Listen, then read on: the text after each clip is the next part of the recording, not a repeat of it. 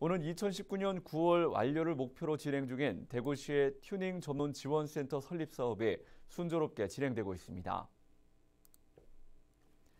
튜닝 전문 지원센터 설립 사업은 386억 원의 예산을 투입해 튜닝 전문 지원센터 건축과 함께 튜닝 카바타 기술 개발, 장비 구축과 기업 지원 등을 목표로 하는 사업으로 대구시는 튜닝 카바타 서비스의 홍보와 이용 확대를 위해 다음 달 설명회를 개최하고 11월부터는 인터넷을 통해 본격적인 서비스를 시행할 계획입니다.